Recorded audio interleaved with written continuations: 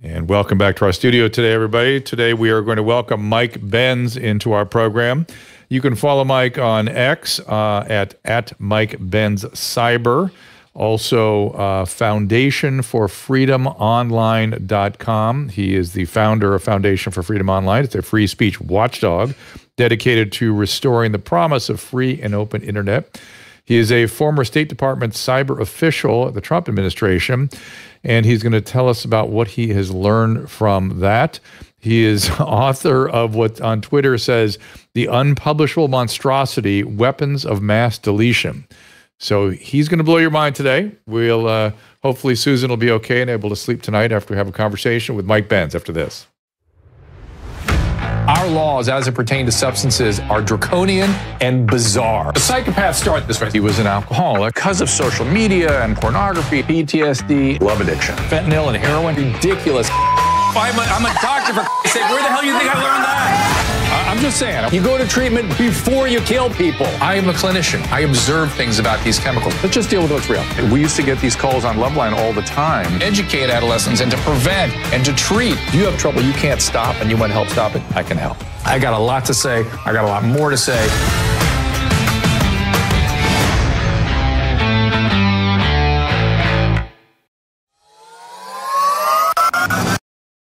Let's talk about aging because everyone wants to know how to slow it down.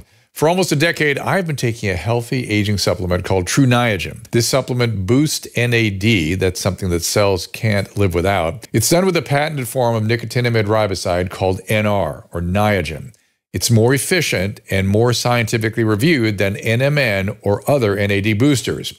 Tru Niagen is truly the best way to boost NAD levels and it's made by Chromadex. They are the gold standard in the NAD space. Dr. Charles Brenner, the scientist who discovered the NAD boosting potential of NR, explains. And the center of the metabolism that allows the conversion of food into energy is NAD coenzymes. And NAD gets disturbed um, in the aging process. And as we're exposed to conditions of metabolic stress, mm. Niagen, which is the um, form of, of NR that was developed by Chromadex is the is the best and the only fully legal form of NR. And this is really the gold standard for NAD boosting uh, vitamins. I love this product. I urge you to try it. Go to drdrew.com slash tru niagen for 20% off your order.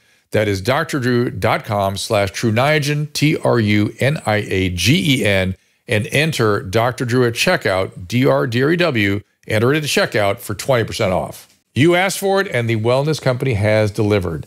The medical emergency kit, replete with ivermectin, prescription antibiotics, and more, continues to fly off the shelves. We keep one here at home. And there are three new kits you need to know about, and more are coming. The Contagion Emergency Kit was inspired by the high demand for the medical kits. In that Contagion kit, you'll find ivermectin, hydroxychloroquine, antibiotics, budesonide, and a nebulizer. And a must for your next trip is the Travel Emergency Kit, something I made sure exactly what I give my patients is in this kit and some more. The kit includes remedies for jet lag, variety of infections, even GI ailments. Imagine your flight getting grounded anywhere, say even in the US, and you start getting sick. You do not want to be at the mercy of the US healthcare system or any healthcare system. At home, we keep the ultimate first aid kit on hand. It has over 20 essential supplies and medications for situations when time is of the essence. Order one for your car and your go bag. Because these kits contain prescriptions, your purchase includes a telemedicine consultation as well as an instruction manual. Go to doctor.com slash TWC for 10% off. That is drdrew.com slash TWC for 10% off all your orders. I'm very excited about these kits. Go to drdrew.com slash TWC. Yeah, I love those guys. I love. I am so grateful for the people that support us. We have such great products, and uh, and we have new Nanlite uh, lights now in the studio. I don't know if anybody can tell, but it just looks so good. Very enthused. Thank you. And we want to thank them very much. Yes, thank thank you for our, your guys' support, for being enthusiastic supporters of this program, and for those that uh, come in here and, and uh, promote themselves. We charge. I mean, the people I use. I mean, I I bring the travel kit with me from Wellness Company. I take Tru Niagen. These are all things that we use. Genuine. Dr. So, Drew approved. So yeah. So there you go. Uh, all right. So more on Mike Benz. Uh, one of the things we'll be talking about today is the Supreme Court's um, case uh, that I believe Mike Benz is saying is the most important free speech versus censorship case in U.S. history, called Murthy versus Missouri. It was previously called Missouri versus Biden. And uh, as you know, we've had many of the the plaintiffs in that case on this show: Jay, Jay Bhattacharya, Aaron Kheriaty, people like that. And uh, boy, the fact that those guys are not uh, sufficient in and of themselves to sort of prove the case of the excesses of uh, of the cyberbullying that went on during COVID, I don't know what is. Again, Mike Benz, the founder of Foundation for Freedom Online. Uh, you can follow Mike uh, at Mike Benz Cyber and also Foundation for Freedom Online.com. Please welcome Mike Benz. Mike, welcome to the program. Thank you for being here. Thanks so much for having me on. You bet. And Caleb, before I get into it, uh, is there something going on with the Twitter Spaces? I don't. It doesn't come up on my feed here. Is there? I'm, you having trouble with that today? Out. I'm getting it figured out. Okay. Yeah. Every once in a while, issues. there's problems with that. So yeah. So Mike, uh, I got a lot to talk to you about. Um, what I want to do is sort of uh, rather than dump it all up front here, uh, I want to take people through a little bit who you are, where you learned what you learned, and who the blob is. Let's kind of start with that. Sure. So, uh, in, in, what order would you like me to tackle that? I mean, in terms well, of my personal, yeah, sure. your, your personal story and how you. I mean, is this something you've always known, thought about? Is it by being inside and this, and, and just what your training is and experience and how you got to where you are? And did you have moments of, uh, you know, sort of, yeah? You know, some listening to some of your videos gives me moments of, uh, sort of. Uh, astonishment, frankly, or, or, or you know, I guess the moments of clarity of sorts. But go ahead. Yeah, so I mean, my background was a corporate lawyer in New York. I was uh, in the tech space. I had come from a sort of internet business family. The internet was always a really big part of my life and my career uh, in terms of law. Uh, but you know, I started writing this story about internet censorship long before I became a, a character in it. In about August 2016, I began writing this book, which is currently in its unpublished form, Weapons of Mass Deletion, uh, because I came across a series of white papers and and and research posted online around a technique for censoring speech online using artificial intelligence. And immediately I had flashbacks to my childhood, having lived through, I was an avid chess player as a kid. I lived through that era when chess computers overtook uh, human capacities and the adults in the room were always saying this was never going to happen. And at the time, it was very evident as a kid that it was. And I came across this sort of AI, these AI censorship tools in, in late 2016. And I was chicken little, you know, going around to my friends and family saying, this is going to be the end of free speech in the Western world. This is going to be just like it was for chess computers. There's going to be no escape from it once these things are, you know, uh, basically I, I, normalized. I want to stop you. I, I don't, I don't, I don't intuitively make the connection between what happened to chess and what's happening to free speech. Help me understand that. Yeah. So the way chess computers work are they can break down basically billions of moves per second. And at the end of the day, they spit out a number that says who's winning on the chessboard. So, you know, if, if the number says 0. Point negative seven, that means the computer assesses the black position as being up seven tenths of a pawn. And through this ability to break down every move and to just brute force your way to being able to see the whole board, you can win against any human simply by having the computer analyze the position for you and make those moves. What was happening with speech online in 2016 is during the 2016 election, you had it was an internet election in the same way that the Brexit referendum was very much an internet vo- uh, vote. This was really the first election in the 10 years of social media. You know, you had Facebook in 2004, you had Twitter 2000, you know, YouTube 2005, Twitter 2006, smartphone 2007. It took about 10 years for ordinary citizens and citizen journalists and independent news outlets to be able to build up subscriberships that approximated that of legacy news media like the New York Times or the Wall Street Journal. And by 2016, social media started to become actually more of a dominant force for influencing hearts and minds and who they decide to vote for in an election than legacy media. Donald Trump is a great example of that. He had zero, zero print newspaper endorsements in 2016. Um, he was he was essentially blacklisted on broadcast TV. Even Fox News was highly divided about him. But according to these digital forensics reports from David Brock and, and other sort of uh, NGO affiliates, the the engagement for Trump on Twitter, Facebook, and YouTube was something like three to four times what it was for Hillary Clinton. So it it more than offset the uh, the support in the legacy media. And so the autopsy report coming out of the 2016 election was we need to censor the internet in order to stop these populist political forces, both in the U.S. and across NATO, uh, because there was a rise of populist parties on the other side of the Atlantic as well. Uh, and, and that's sort of how we got to the present day. That sort of gets to the censorship industry part. On the censorship technology part, just to sort of wrap up that point, is they had a problem with uh, with censoring the internet after the 2016 election, which was that there was only so much you could do with humans doing the censorship.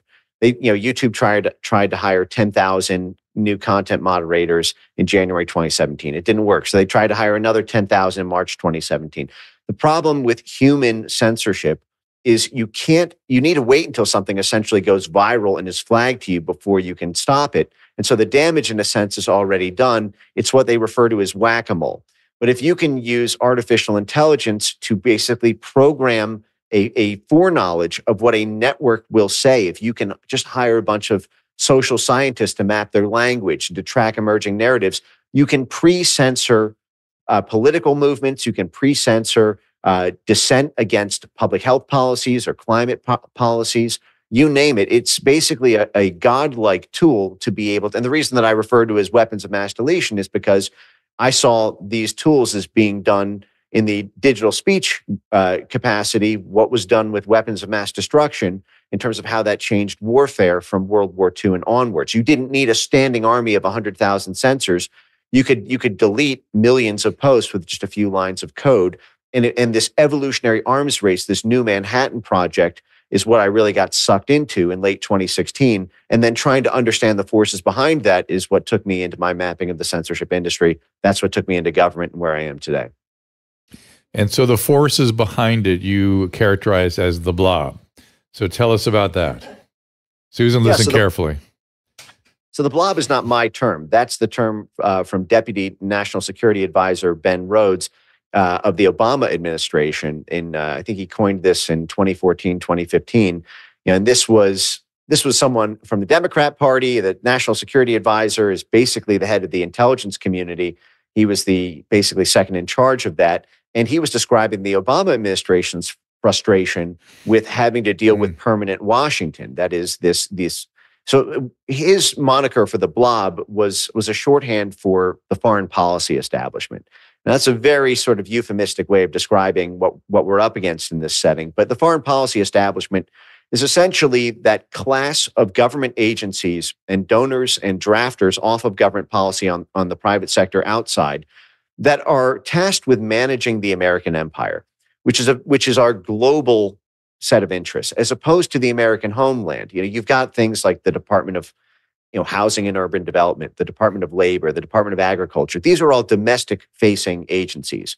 But there are three sets of agencies in particular the State Department, the Pentagon, and the intelligence agencies that are strictly foreign facing. The CIA is not allowed to operate domestically. The State Department is not allowed to operate domestically. The Pentagon is not allowed to operate domestically. They're all supposed to be foreign facing. And they're, because of that, they're imbued with a very special set of powers uh, in order to manage our international interests. This is after, you know, after World War II, we basically deputized this trifecta of government agencies and their affiliates throughout the rest of government with a Department of Dirty Tricks power, the power to overthrow foreign governments, the power to control foreign media, the, the power to manipulate elections. Uh, you name it. There's a whole suite of, of dirty deeds that they are legally deputized to deploy that U.S facing institutions are not.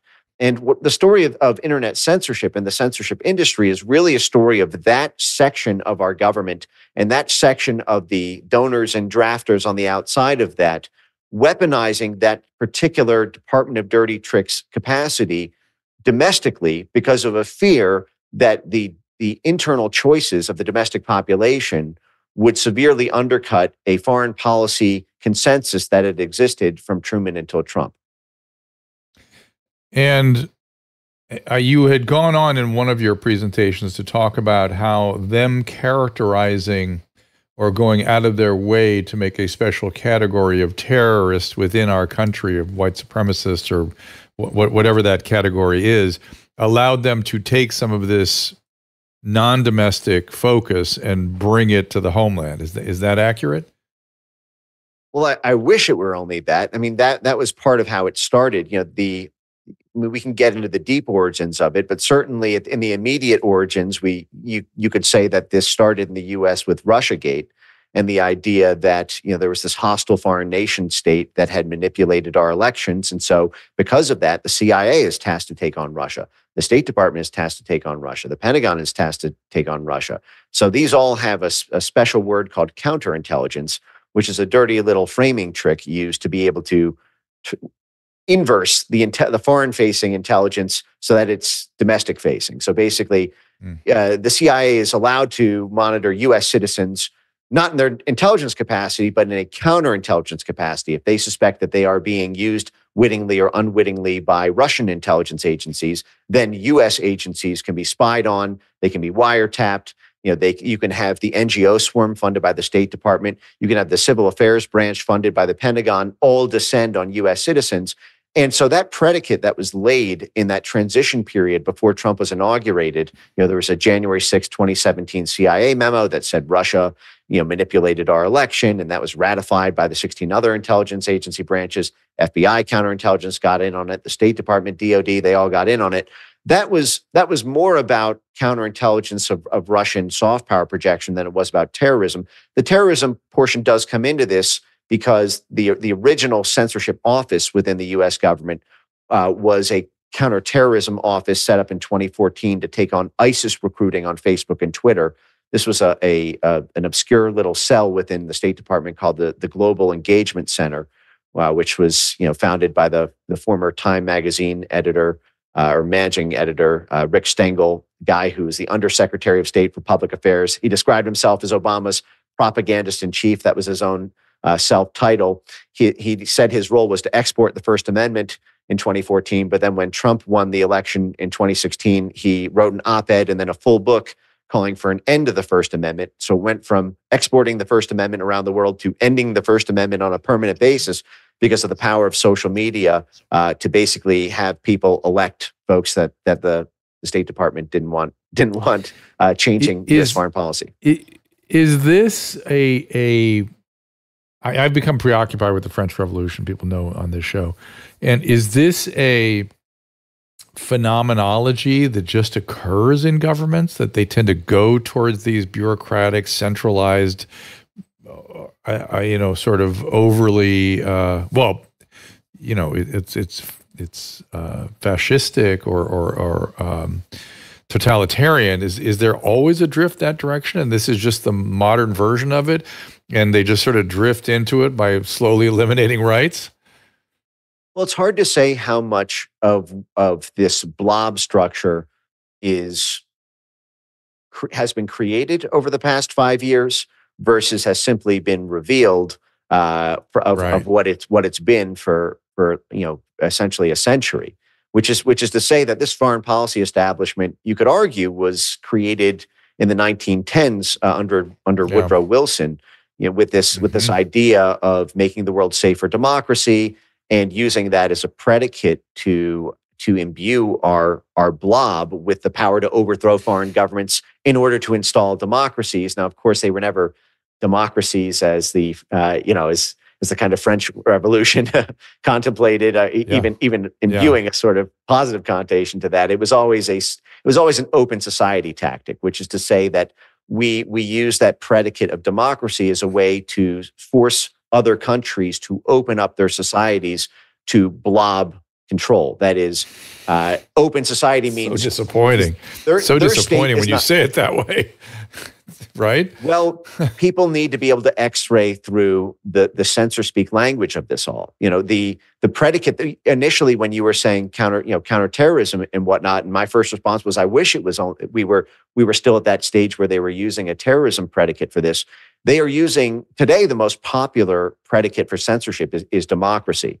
You know, it's it's this idea that they they've redefined democracy to mean a consensus of individuals to a consensus of institutions which is essentially right. you know all the blob is is comprised of hundreds or thousands of of discrete institutions representing diplomacy, representing defense, representing intelligence, representing the Chamber of Commerce and all of the different multinational corporations, representing all the different industrial subsectors, representing the financial interests of the creditor class in Wall Street and London.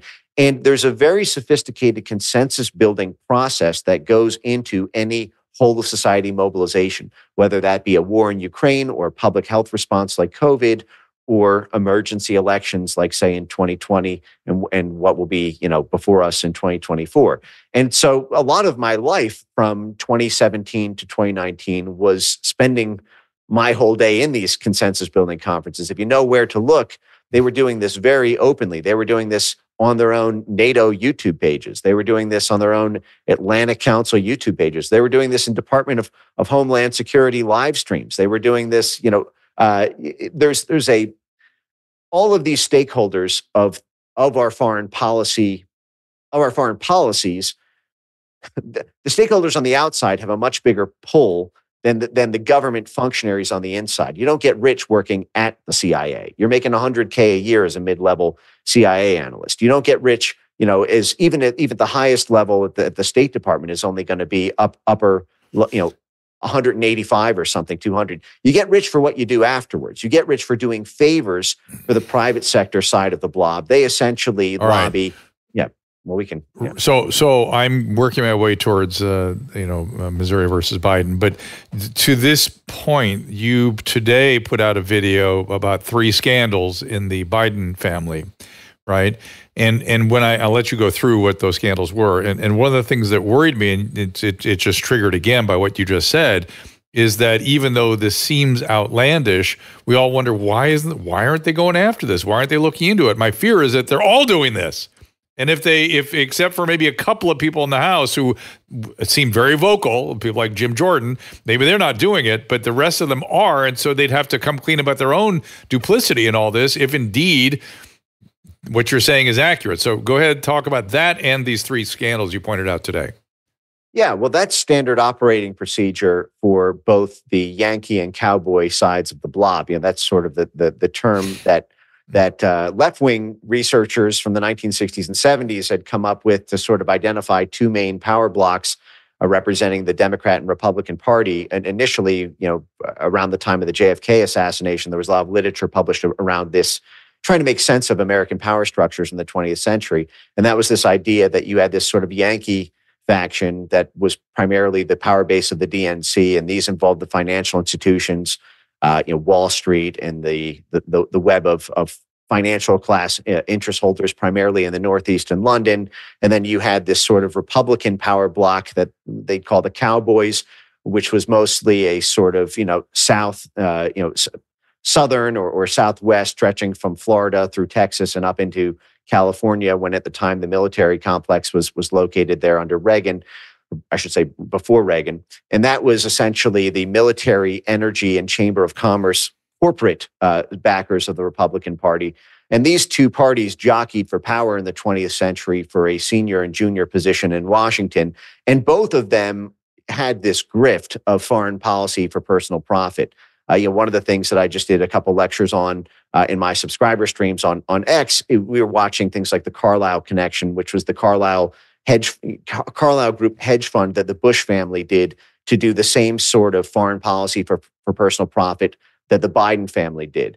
And you know, here in this case, and and just to to break down what that grift is, is if you are in a position of power within the blob, within the foreign policy establishment, and you get to set US foreign policy around the globe or in a, protect, a particular region, you essentially have an insider trading capability to be able to make profitable investments on what will happen in that region because you know that the Pentagon is about to overthrow that government. You know that the CIA is about to twist the arm of a prime minister in order to get them to approve a new military base or or to uh, open up a new shale field for extraction. If you know that the State Department is about to pass sanctions on that country in order to get make that investment happen. And so people who occupy these senior policy positions within the foreign policy blob are able to have months or years of advanced knowledge of that and deploy their own assets and do favors for their wider network accordingly. This is in many respects how George Soros went from a millionaire to a billionaire with, with foreign currency speculation as, as he was partnering with the US government in the 1980s. This is essentially the story of what the Biden family was doing, you know, about that video that I put out and the three scandals around the Biden administration with foreign policy for personal profit. In that case, it was Ukraine, China, and Mexico. And all of these foreign policy positions of the US government, and I should add, by the way, Joe Biden uh, is called called himself Mr. Foreign Policy for the first 30 years of his of his career. He he is a blob cutout, uh, you know, through and through. And remember, before he was Barack Obama's vice president, who had senior authority on all things Ukraine. That is, Obama delegated the Ukraine portfolio to Joe Biden from 2008 through through 2016. But before that, what was Joe Biden doing in Washington? He wasn't uh, overseeing HUD. He was the head of the Senate Foreign Relations Committee.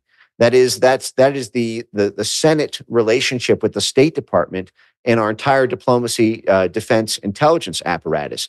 He had spent 30 years on the Senate Foreign uh, Relations Committee and 10 years rotating between chairman and uh, and ranking member. So, so this was somebody who was situated more than any, any other person in the U.S. government to be able to do these uh, these you know in, in personal family investments in regions around the world because he was setting U.S. policy on our activity there. So the, those three scandals that I mentioned involved. So you know, the first one is one that's been widely published around Ukraine. You know, you had the situation where Hunter Biden was making sixty-five thousand dollars a month, sitting uh, essentially on a no-show, uh, you know, board seat position in order to lobby the U.S. State Department uh, to do to take action in in Ukraine that was favorable to Burisma. Burisma was a private gas company that uh, was a big feeder into this company called Naftogaz, which is the public public owned uh, Ukraine company there. And what what the Bidens were trying to do were to kill Russian exports to Europe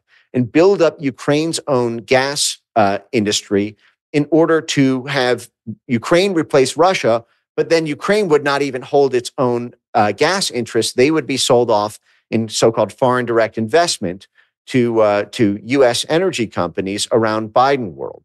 And so this was this was the play that was going on there with Burisma, and this is you know this involved the State Department, the CIA, and the DoD. At the time, we were providing hundreds of millions of dollars of military assistance. This is what Trump got impeached about in 2019, mind you, uh, was potentially holding up military assistance. This was three years before war even broke out there in 2022, because at the same time that Hunter Biden was profiting from Burisma, Burisma's shale rights were in the eastern region of the country, which, which had declared itself a breakaway state after the 2014 State Department coup.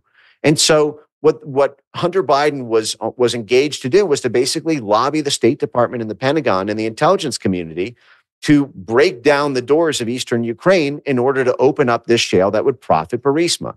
And again, he's on the board of Burisma. It's the same story with the other uh, with Naftogaz, the, the, the, public company there. You know, then there's the situation with uh, with China. You know, basically the Biden administration has has reversed the uh, you know it, the Trump policies around containment of China.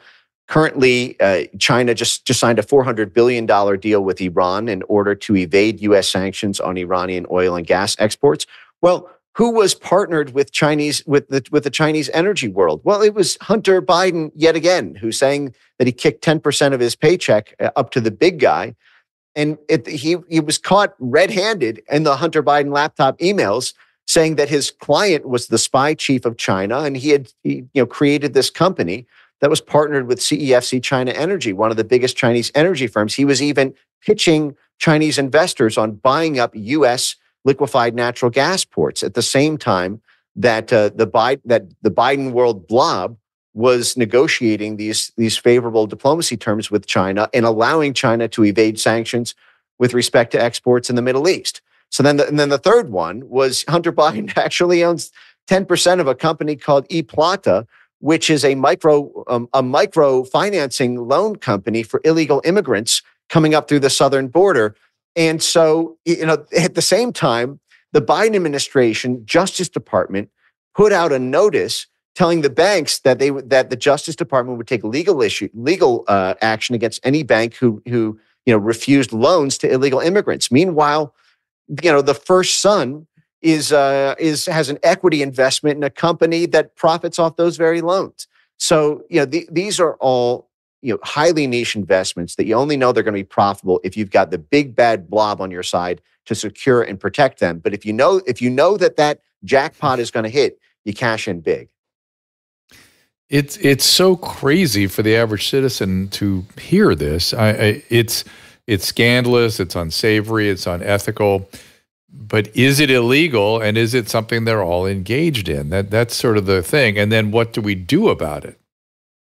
Yeah, well, well, part of the issue is is Trump really bucked that trend which had existed for. Well, why didn't years. he talk about it? Why wasn't he explicit about it? Why did he just use words like the swamp? Why didn't he send somebody out to educate about what you're exactly what you're talking about? Why didn't he, why didn't he send you out? Well, it's very hard because you know Trump inherited a civil war within his own party. Uh, when when when Trump won the election, he didn't just defeat the Clinton dynasty in 2016; he defeated the Bush dynasty. Well, guess we're the only people you know on his side nominally within the within the Pentagon, within the CIA, within the State Department?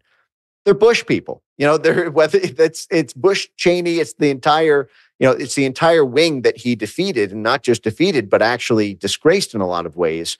Uh, in doing so, and then you had immediately remember before Trump was even inaugurated, the FBI was investigating him, and and very quickly within the first you know, mm-hmm. two months of Trump taking office, Trump was under the sword of Damocles of a special prosecutor, Bob Mueller, the FBI director from from 9/11, was you know revived from the dead like a sort of crypt keeper figure who dogged Trump for the first two and a half years of his presidency, and because of that, that swung a lot of leverage to Trump critics within the Republican Party who could win mm. concessions from the Trump White House because he needed them to stave off an impeachment vote. Remember, many of those Republicans Crazy. actually did vote to impe- impeach. It was a, it was a.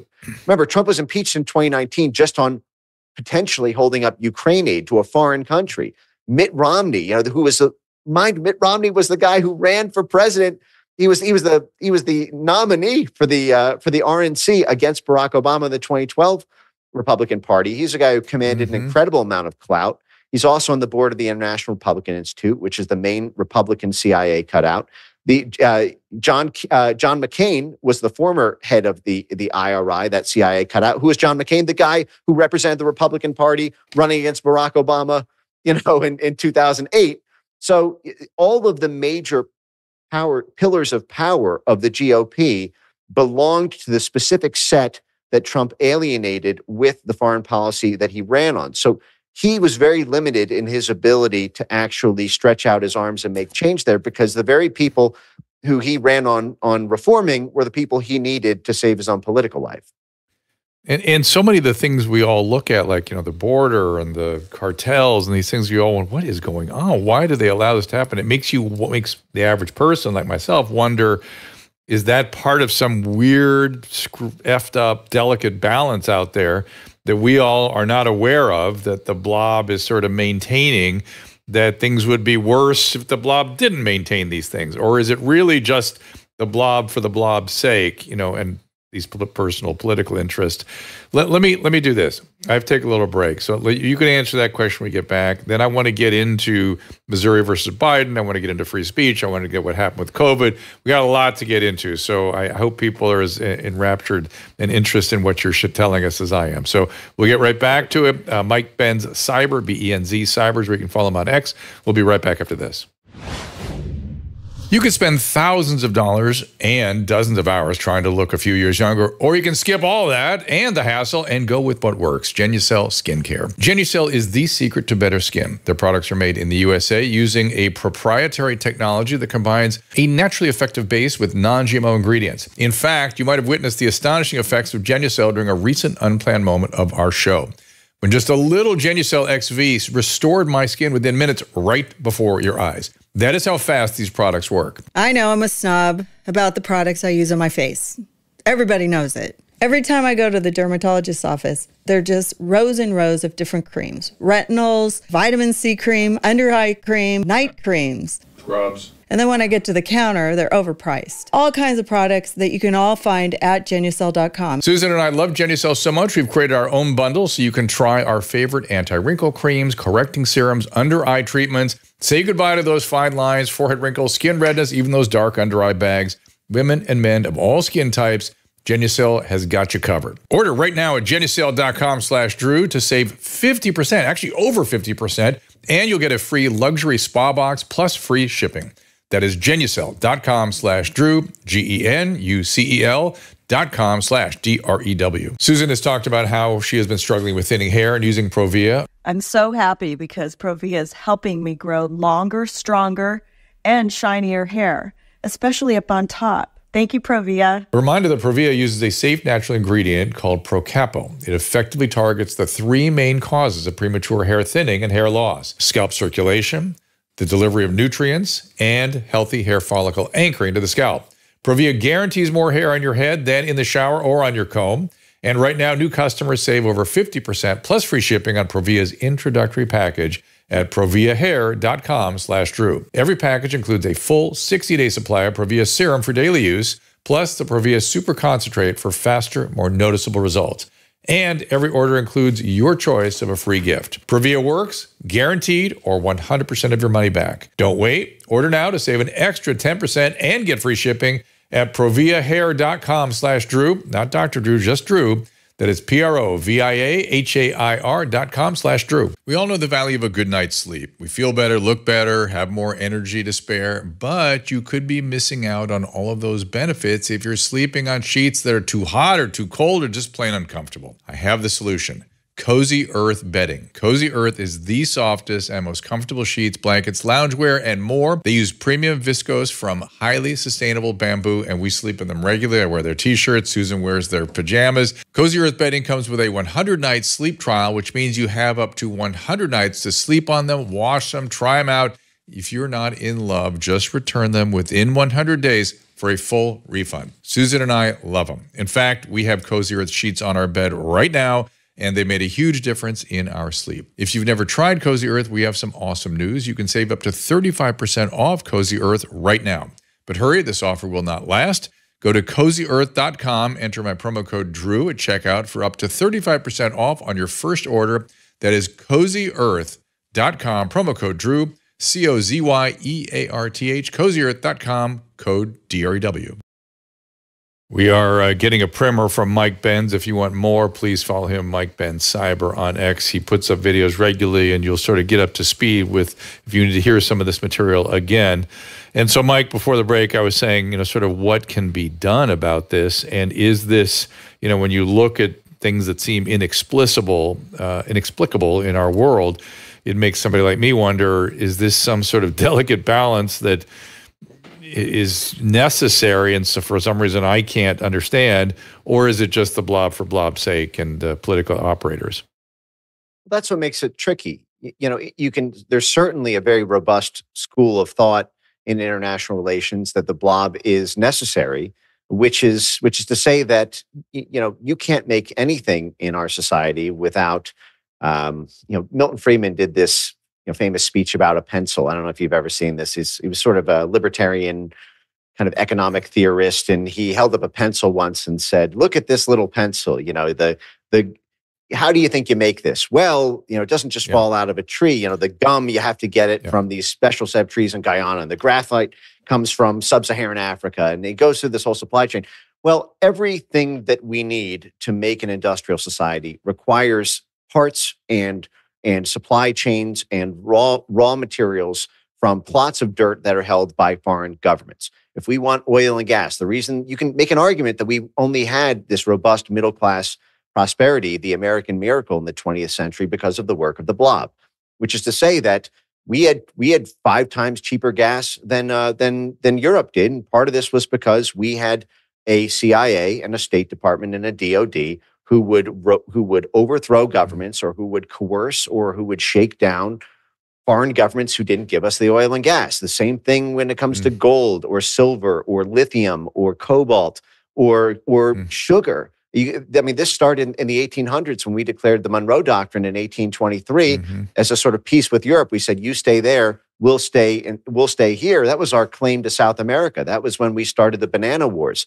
And uh, and as before our big oil empire, we had a big sugar and big ag empire that that again was corporate stakeholders giving American cheap fruit and you know tons of food and choice and all at a discount price. But that was because we installed banana republics, you know, uh, under the under the you know firing arm of, of the Department of War protecting them, which is now called the Department of Defense. So you can make an argument that this blob is a is a necessary evil, but we never had a situation before 2016. Well, you can you can make an argument about a, a, a strange event that happened in 1962 but we never had a mm. we never we never really had a moment where the blob at least came out and confessed that it was necessary to deploy its own special set of skills to take out an American threat to democracy, an American present. You know, democracy again is that watchword that we use to topple foreign governments and to install a new system of government.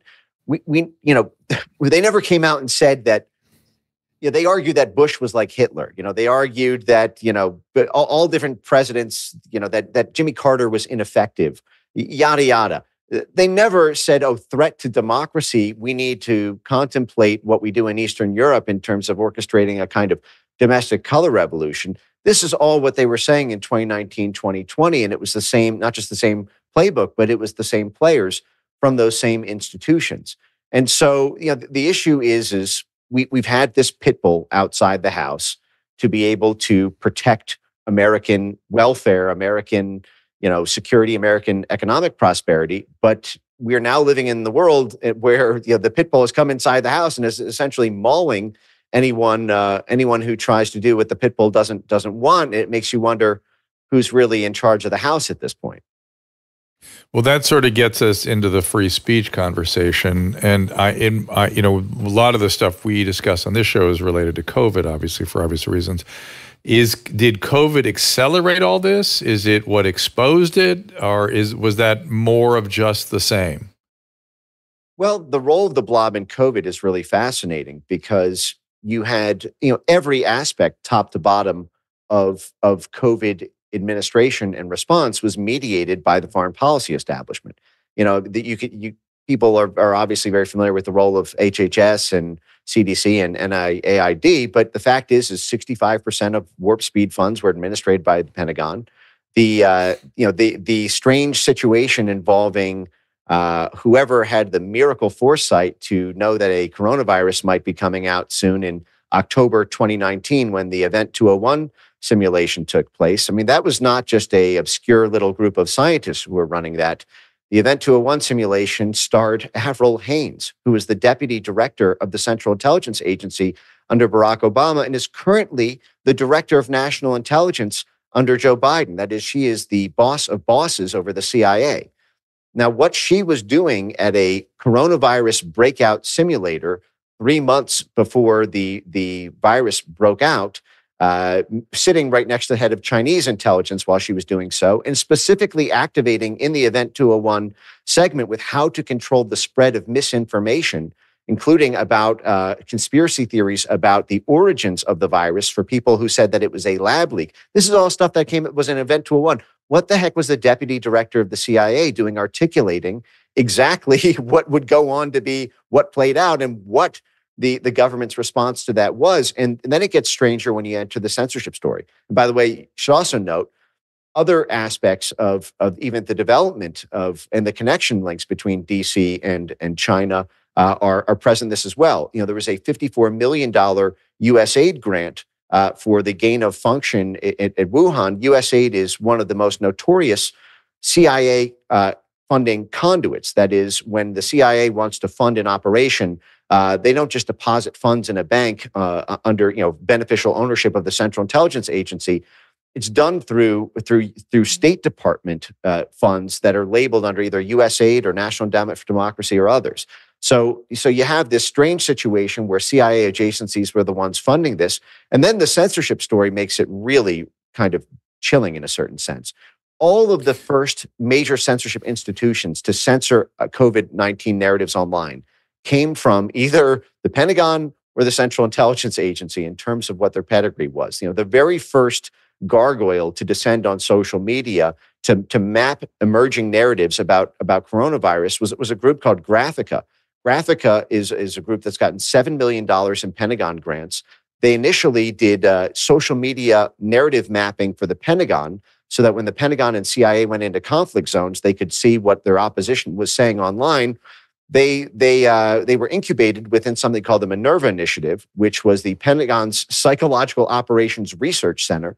So you had a formal Pentagon psychological operations firm uh, funded by the Pentagon, who in January 2020, with with and reaching back starting with December 16th, 2019, just four days after the outbreak, uh, go full scale into mapping all conspiracy theories about the virus, uh, as uh, mapping you know lab leak narratives, uh, mapping narratives that were that were pre-skeptical of vaccine rollouts.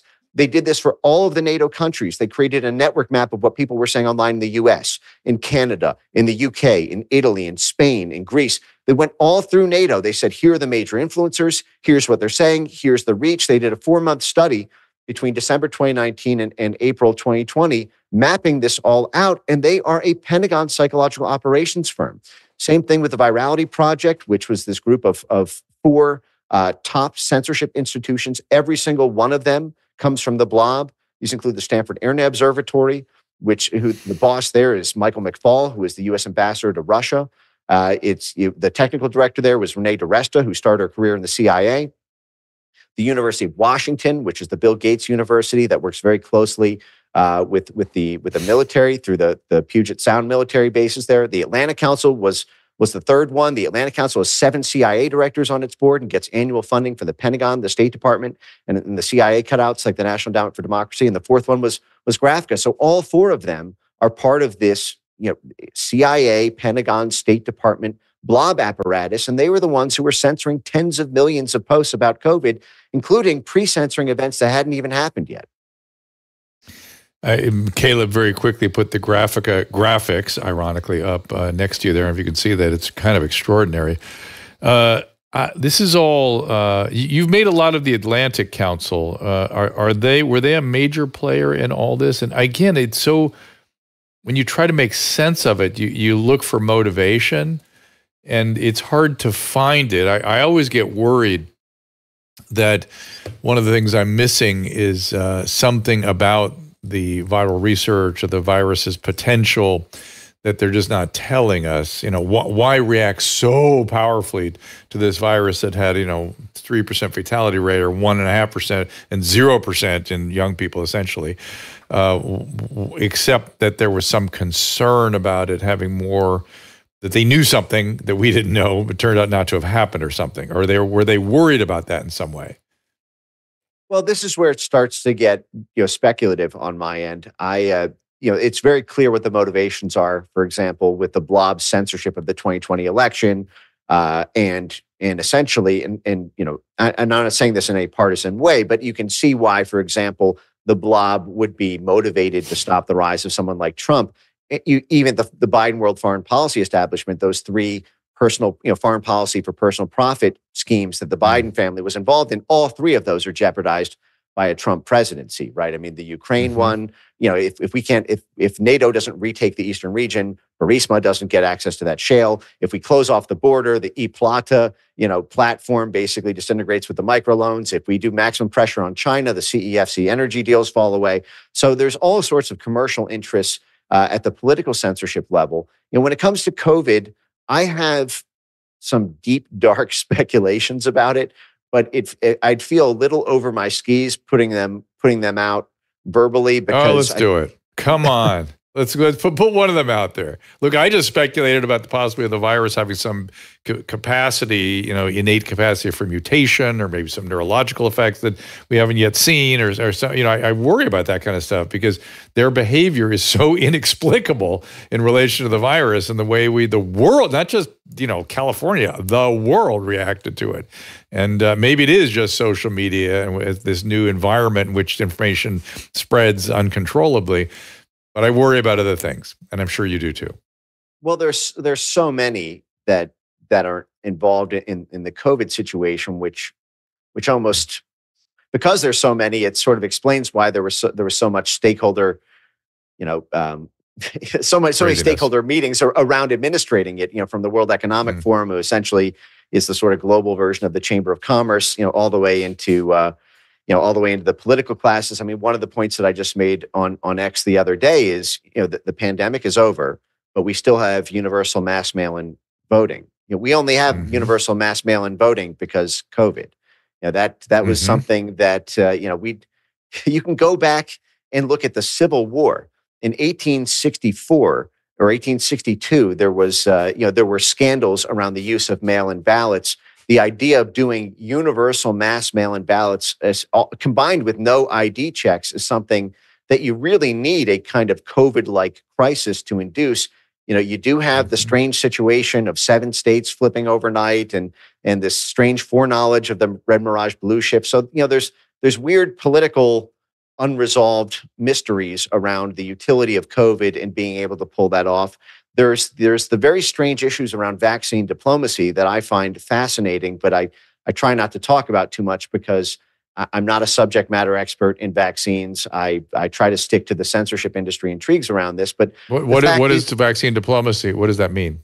I mean, giving people the vaccine for a certain you know gains or well, what? Well, we, we have the, the U.S. military has a counterinsurgency doctrine to be able to quell the rise of political movements around the world who challenge U.S. backed installed U.S. installed dictators. So, like a classic example of this is in Iraq and Afghanistan.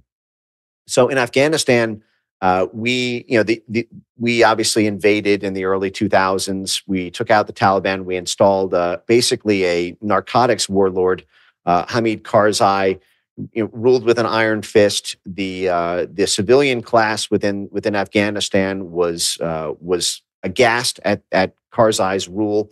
Uh, there was a, there were there were in political insurgency movements who were constantly rising in Afghanistan to try to unseat him.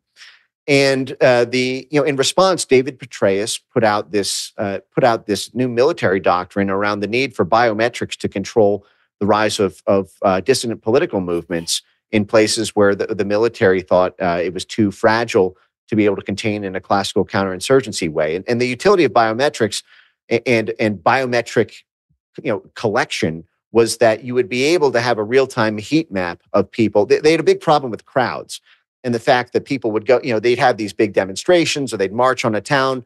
And the Pentagon and the CIA would know who, you know, two or three of the key leaders are, or maybe a dozen of their lieutenants but then there'd be 100,000 people that you don't know who they are. You don't know if they're for you, or um, you're not going to be able to pinpoint them and identify them as the bad guys that you need to take out.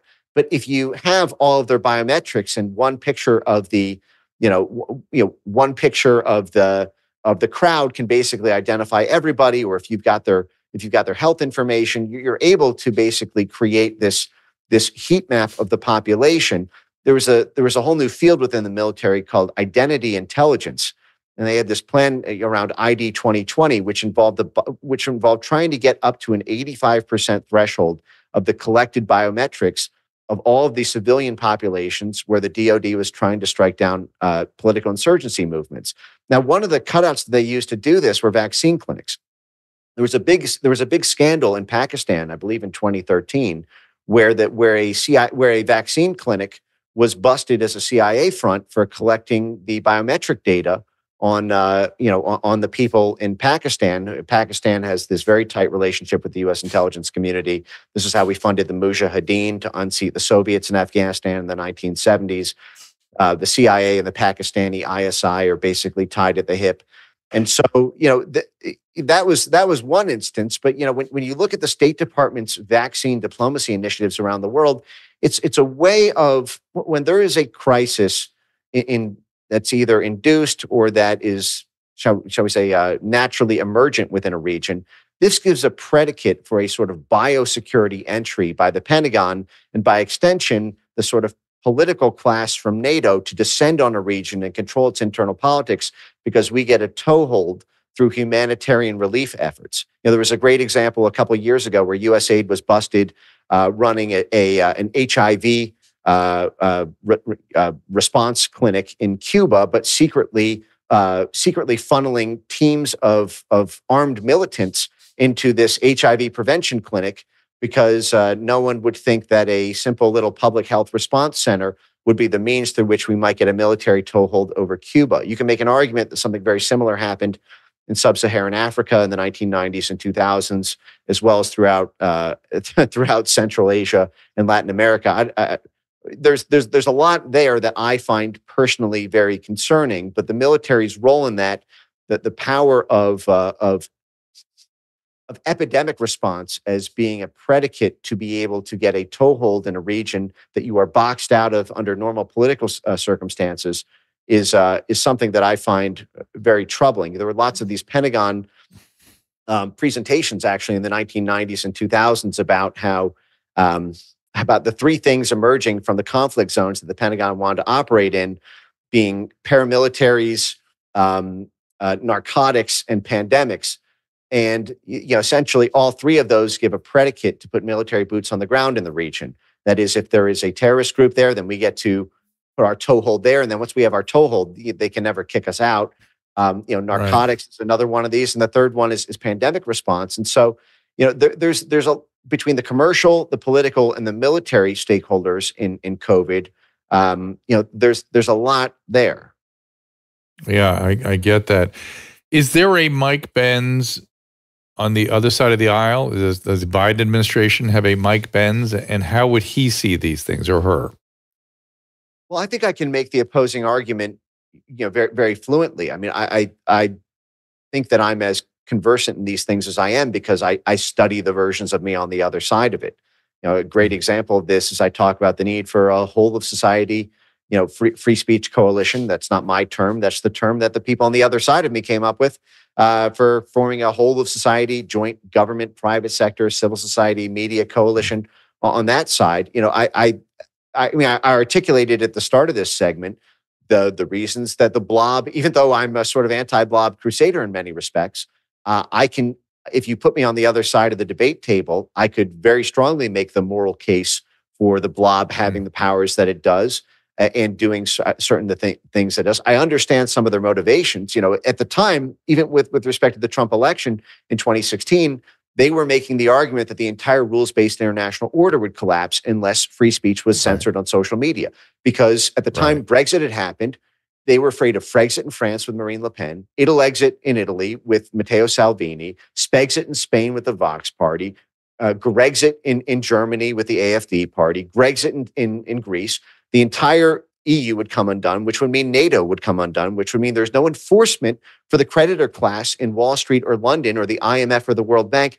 And in a certain sense, they're not entirely wrong in, in that in that mm. yes, social media popularity of of President Trump, yes, social media popularity of Nigel Farage and the Brexit movement, of Marine Le Pen in France, yes, probably would cause something akin to a seismic reformation of the the thing that they call the rules based international order because of free speech on the internet. You know, what we learned from uh, from the social media revolution was that the, that consensus uh, on the in the foreign policy establishment that had existed from Truman to Trump was not so much a, a you know a, a factor of people making up their own independent hearts and minds, but but as as a controlled media ecosystem, putting bumper cars on democracy and and what people could vote on, and when people had their own free will to choose, they might not go along with what the New York Times says. They might make their own media channels, and so there's there's so much right you know, that's there's so much there. Right. And that, that's kind of that's happening now. And now that gets us to Missouri versus Biden. Why is that the most important free speech case of in the U.S. history? You you yeah, built is, you built to this. Right. Yes. Well, well, this is the grand stage for it all. And I we should note that this Supreme Court oral argument from Monday, and that's playing out over the next several weeks and months here, is is still on a is still a, a SCOTUS ruling on a preliminary judgment, which is to say that there's going to be years of discovery in this case, no matter what the Supreme Court says uh, in terms of its sort of placeholder ruling. So, you know, mm. this is a very important next few weeks, but, you know, it remains to be seen what the final judgment will be after all the discovery pours in that, that the plaintiffs are entitled to.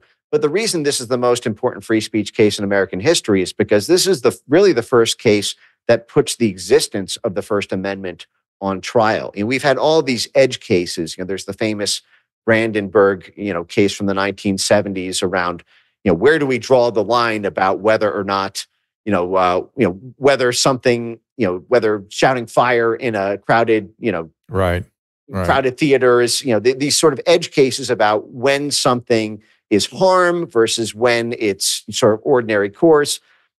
But we've never had a permanent, politically uh, codified censorship off domestic censorship office within the US government until just a few short years ago. You know, DHS, mm. for example, created a, a formal censorship subagency called CISA, which which you know literally literally you know argued that social that domestic First Amendment protected speech by US citizens about their own internal affairs, ranging from elections, ranging from COVID, ranging from energy or climate or border or even the Ukraine war, could all be censored by the US government uh, under the idea that critical infrastructure is, um, you know, is something DHS is, uh, is mandated to protect. And there's, this is a cyber agency, so it's protecting cyber infrastructure. Uh, and this and critical, we have critical infrastructure our elections are critical infrastructure. Public health response is critical infrastructure. You know, um, border security is is critical infrastructure. You can make this argument about every sensitive policy issue in the world, as they did, to say that because of that, well, then that's you know that's a cyber attack on critical infrastructure if your tweet undermines public faith and confidence in it. So if the Supreme Court does not strike down that arrangement as being violative of the First Amendment, then we don't have a First Amendment. I mean, this is absolutely existential. If a government office can coordinate the censorship of domestic speech, then the government is in control of domestic speech. There's no two ways yeah. about that. Now, now, but the, there there are gradations of victory here, which is where it starts to get a little bit more interesting in the sense that I, I expect free the, the freedom side to win it uh, on this issue, at least partially or in large part. But we really need a slam dunk home run to send a message in order for this thing, this apparatus to be significantly, dent, significantly dented, because there's so many ways of creative structuring to drive a Mack truck through the pinhole of, of a loophole. And I can get into what right. those are, but it, but uh, you know that's that's why this case is so important.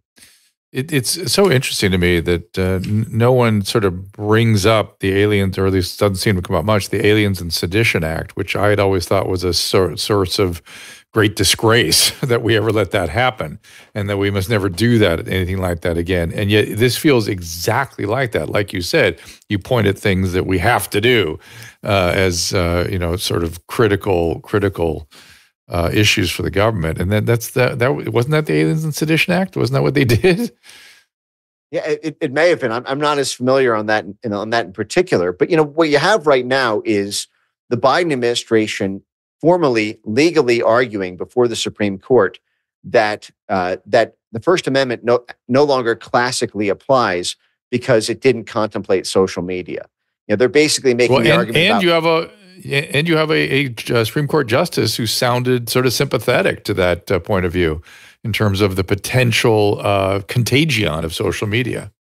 Right. Well, this is now uh, this is now a, a, position that is being articulated at the highest levels of our national security state. General Michael V. Hayden says the same thing. Former head of the CIA, NSA, and four-star general. Um, you know, there's there's does Rick Stengel, you know, who's the as I mentioned was the guy who set up the Global Engagement Center at the State Department, the first you know, censorship office who formerly said that his job was to export the First Amendment because it was so important and unique, and then loses one yeah. election and suddenly calls for an end to it.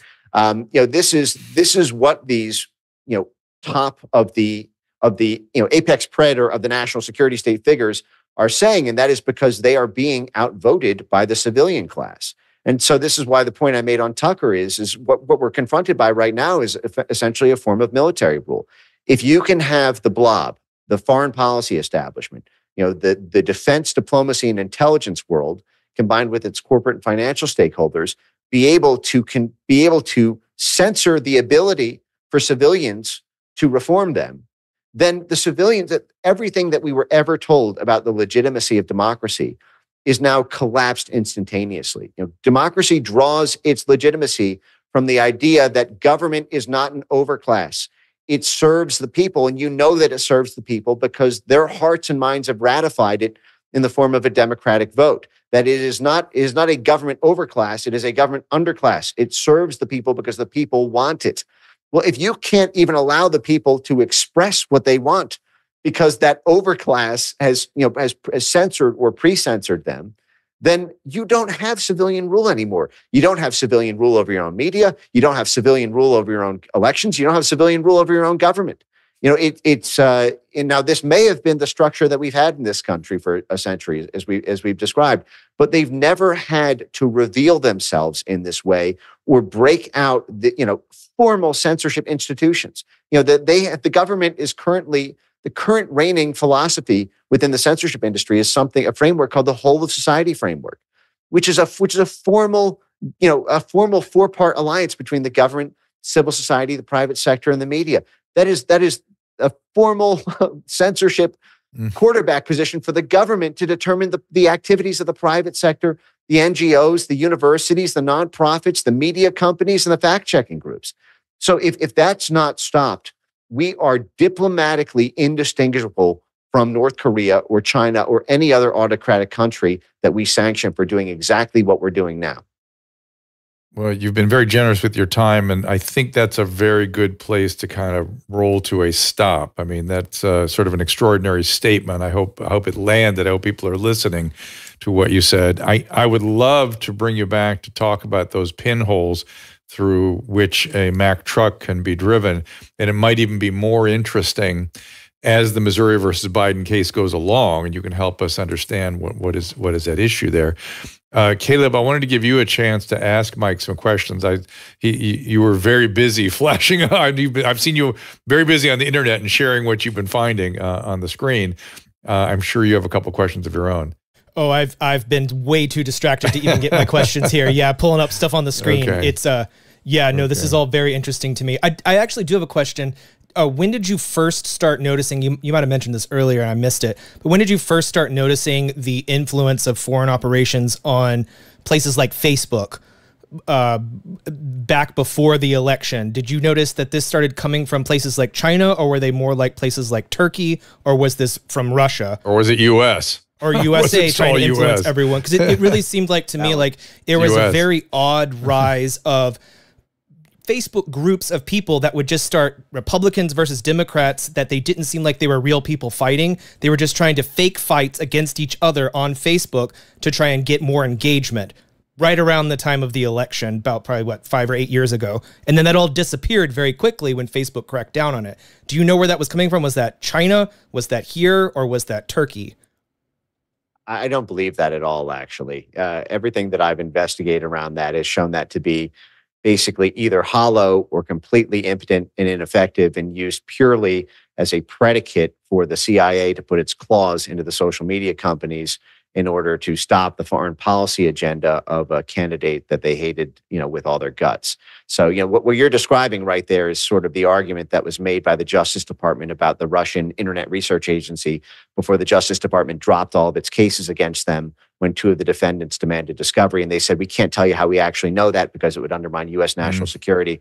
Um, yeah, mm. this was this was something that you know even the CIA made these big bold proclamations about all the evidence they had about Russian interference uh, in that January 2017 memo. But all I, I, read that memo the day it came out. There was nothing in it. It was completely unsupported. All they had was an appendix at the end saying that Russia Today and Sputnik, the you know respectively the TV and, and radio, you know uh, basically the, you know Russia's version of the BBC uh, had uh, had you know skyrocketed in popularity relative to other state-run media institutions like like uh, PBS or, or the BBC. And, and those were totally above, you know, those were public facing institutions. These were not, you know, you can say what you want about RT being pro- Russian propaganda. It certainly is. But it, it's not some big clandestine operation. They they had a formal, you know, they were they were a, an account like any others.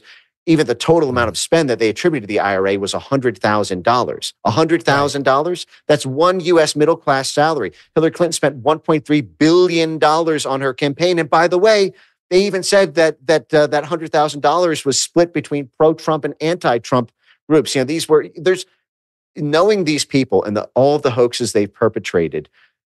that that could have been a U.S. citizen using a VPN. Many of these VPNs right. are you right. know warp in from foreign countries. Warp in from you know Russia is a very popular VPN address. you know, for, for from everything from you know uh, you know, NordVPN to a dozen of others. You can actually pick when you go to a VPN what country you want your IP address to be able to warp in from. You know, and many of these have been totally busted. There was a, you know, who wrote the the Senate intelligence report on Russian interference? It was a firm called New Knowledge LLC. They wrote that in 2018. You know what came out in 2019? New Knowledge itself had personally purchased Russian bot farms, 23,000 fake Russian accounts to mass subscribe them to Roy Moore's Senate, uh, you know, Re- Republican Senate runoff uh, in, in November 2017. They, so the people whining about ro- fake Russian bots and making the formal pro- pro- proclamations of the Senate Intelligence Committee, the oversight for the CIA, they were the ones creating the fake Russian bots. So none of these people have any credibility. You know, they, they've done they've called people Russian bots, and those people have had to go on Sky News in the UK and say, "Hey, I'm actually." You can go on my on my Twitter page right now and look up a guy named Ian four five six. You know, who I mean, this there's there are hundreds of examples of these people being flat busted. They have zero credibility. Right. And they're paid by the state. These people all come from the CIA or the State Department. Their job is to is to rig elections around the world, and they did it here. You know something that, that I, I, think I think is eventually going to be a part of the story, are are that a lot of these were actually run by individuals who saw a gold mine in creating fake news websites before those really got shut down by changes in the algorithm and changes on Facebook. There was a gold rush, and I remember because I used to I never ran any of these, but I remember people in my circles of that ran websites and started launching these campaigns you could put up fake news and it would go everywhere and you would get tons of ad views and they would make lots of money off of it. None of those people are going to come out now and say, "Oh, I did this. This is how I made a million dollars back well, in, you know, 2019, 2020." But there was but a I'll huge tell you industry. What, they could manipulate Facebook quite easily. It, what's interesting to me is that is that the the hoax and the these this sort of this phenomenon is sort of known to people now and they're they're mocking it, making fun of it and not falling victim to it so much. So their ability to do these things has shifted. Uh, which I would call progress. I would say that we're we're all seeing it, and same thing with the with the mainstream media. They pick up on this BS and they start reporting it as though it's factual. They they just they just further erode their audience and their legitimacy. Well, and I would say that's a good thing because they're showing themselves not to be trustworthy. So I'm seeing this pattern again right now with the whole fake news industry, where it's not even. I mean, some of it is. It looks like it's government propaganda run, but it's actually a mm. lot of people especially on X right now, because you have this gold rush of monetization.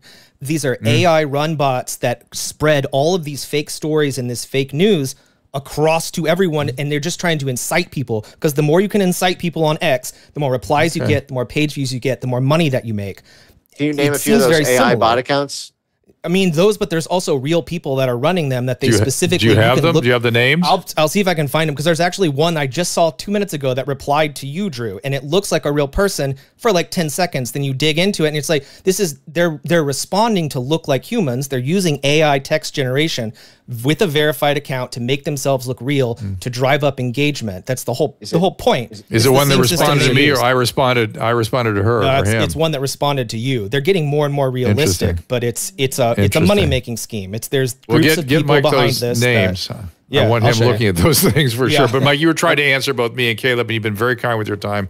I want to give you a chance to respond to what we just said. Well, people have don't underestimate people's immune system to these type of things. You know, in, in the 1990s, mm. it was very popular. The Nigerian princes would ask you for money over email.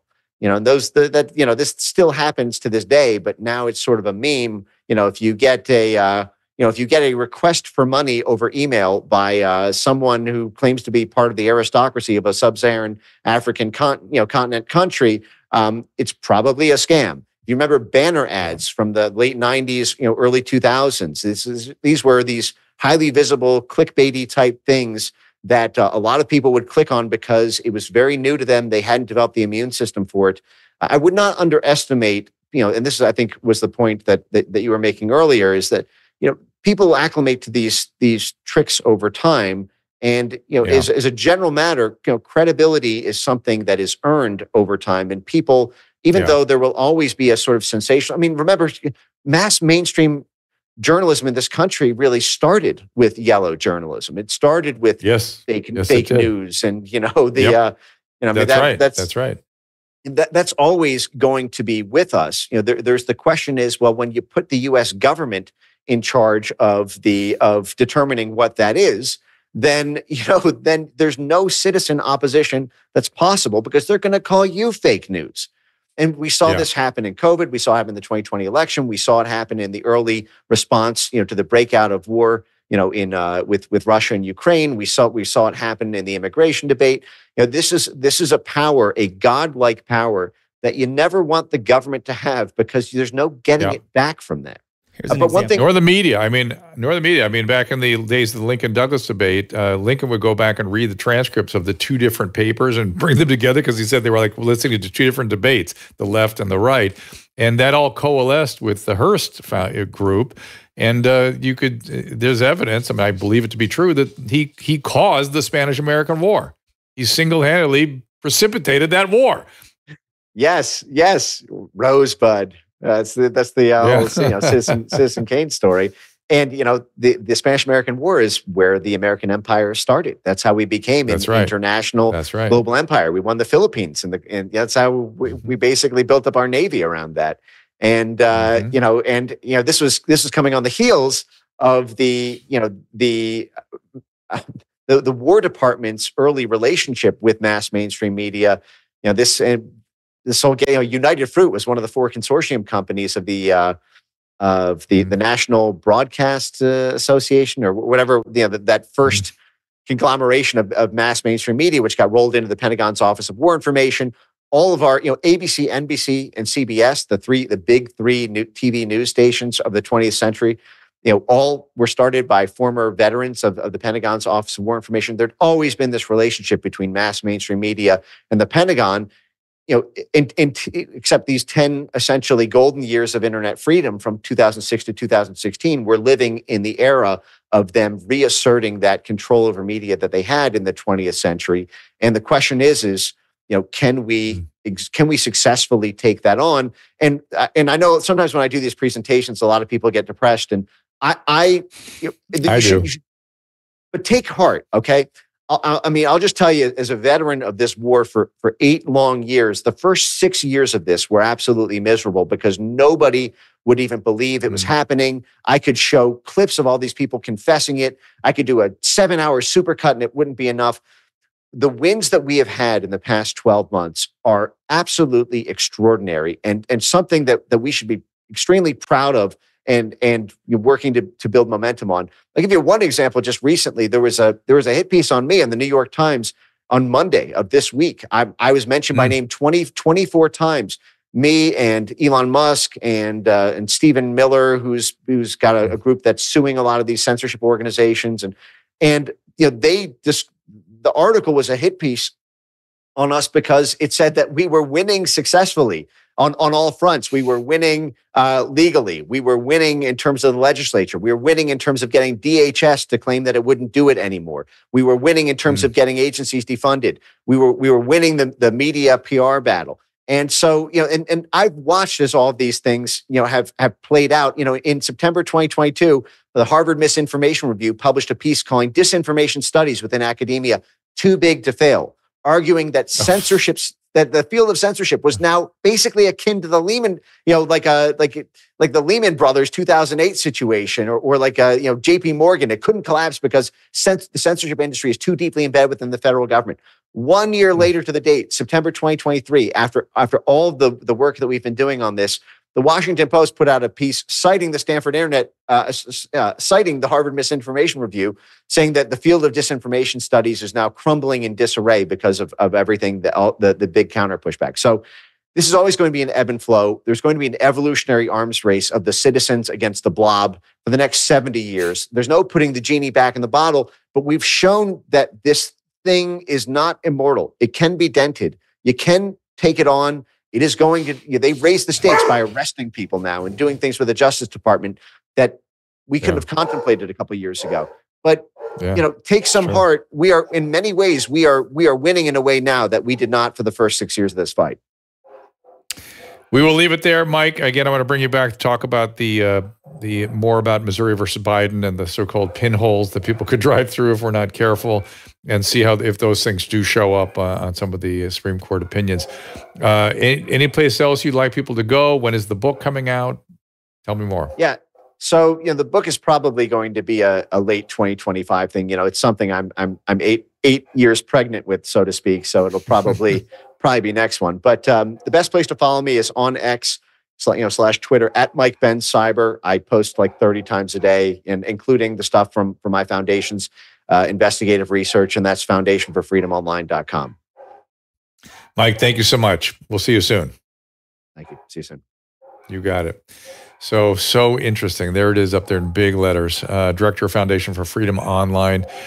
And uh, let's look at the schedule coming up. We have a very interesting guest, and today was, of course, no exception to that. Um, we have Kelly Font- Fontania, I think it's how she pronounced her name. Um, look her up on X, and you'll you'll you'll see why I'm putting her on the show. We got Greg Lukianoff coming in here next week, Peter McCullough with Steph Coulson, Drea De Matteo, G Van Fleet, Ed Dowd with Kelly Victory coming on April 3rd. So there's a lot of very interesting people yet ahead. And uh, again, as always, at contact at drdrew.com. We will be taking your suggestions. If you have anybody there, follow us on at Ask Dr. Drew for upcoming shows and guests. And uh, again, thank you for supporting the people that support us. We are enthusiastic about the people that we partner with to create this show, and we are enthusiastic about you guys, about the audience, and, and what a great audience we've we've uh, sort of assembled over this debacle that we call COVID.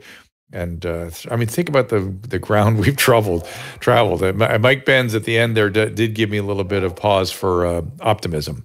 Uh, it, it, feels overwhelming and and wild when you hear about these things the first time, but it it it's it, it, the whole I, like i said all throughout covid i was like shaking my head like what is going on here what is happening this doesn't make sense but it is starting to make sense and we'll continue to make sense of these things we'll continue to push back uh, please join us again tomorrow i think we're early caleb is that correct or is yes, that on i believe it's thursday at, uh, to uh, tomorrow's show is at uh, 12 p.m noon noon pacific i see noon yes. yeah and we're most so likely we'll going to be talking you. about the uh, tiktok stuff and the trojan horse behind those the and uh, I think Neal Brennan's coming in at the end of tomorrow's show as well. And uh, we'll see you then noon tomorrow. Be there at 3 o'clock Eastern, 12 Pacific. Ask Dr. Drew is produced by Caleb Nation and Susan Pinsky. As a reminder, the discussions here are not a substitute for medical care, diagnosis, or treatment. This show is intended for educational and informational purposes only. I am a licensed physician, but I am not a replacement for your personal doctor, and I am not practicing medicine here. Always remember that our understanding of medicine and science is constantly evolving. Though my opinion is based on the information that is available to me today, some of the contents of this show could be outdated in the future. Be sure to check with trusted resources in case any of the information has been updated since this was published. If you or someone you know is in immediate danger, don't call me, call 911. If you're feeling hopeless or suicidal, call the National Suicide Prevention Lifeline at 800 273 8255. You can find more of my recommended organizations and helpful resources at drdrew.com slash help. The parallel economy has empowered us to care for our health, well-being, as well as longevity. Likewise, for us pet parents who now have a place to go when it comes to keeping the family dogs, cats, even horses in the best shape possible. As a dog dad, I'm thrilled to be working with Pet Club 24 7 a company founded by two guys who lost dogs to serious conditions, including cancer. Pet Club 24 7 has an incredible array of products, including a line of supplements for humans, such as the Enforce Plus Coriolus Versicolor and Enforce Coriolus Versicolor with Reishi. My friend and colleague, Christina Ferrari, a cancer survivor herself, swears by it. When I was diagnosed, the doctor in the emergency room told me, you have two years to live. Oh boy. Along with the stem cell, I took these. I have been in remission for eight years now. For dogs, mush puppy treats are a fan favorite. Rex, oh boy. oh, he came right. Oh, there he is. They are also made with the Coriolus versicolor mushroom, which supports their immune system according to hundreds of clinical studies. Here's Kristen Ludlow, National Vice President. That strain does matter. We do have the most potent strain, and we also extract it in a proprietary way. And that's why we've been having such wonderful experiences with these products. Mush puppies are made here in the U.S. There are no fillers. It's non-addicting. Your dog can't accidentally overdose. Go to drdrew.com slash petclub247 for discount off the list price. That is drdrew.com P E T C L U B 247, Pet Club 247.